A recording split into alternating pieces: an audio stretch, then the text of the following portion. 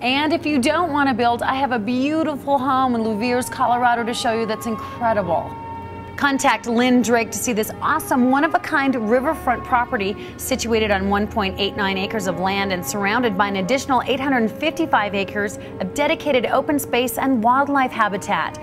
The historic property debuted in 1911 as a dairy farm, and in 1997, the owners added a three story addition and half a million dollars in custom landscaping with multiple water features ponds, streams, waterfalls, a stone walking path, and private patios.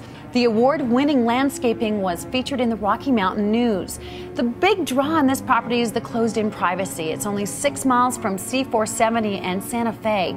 It's zoned for horses, although it's not fenced. It's zoned for general commercial and light industrial, so it's ideal for a home based business. There are no HOAs, so you have lots of freedom. The barn has cement floors and can hold up to six cars or RVs, and there's also an additional oversized attached two car garage.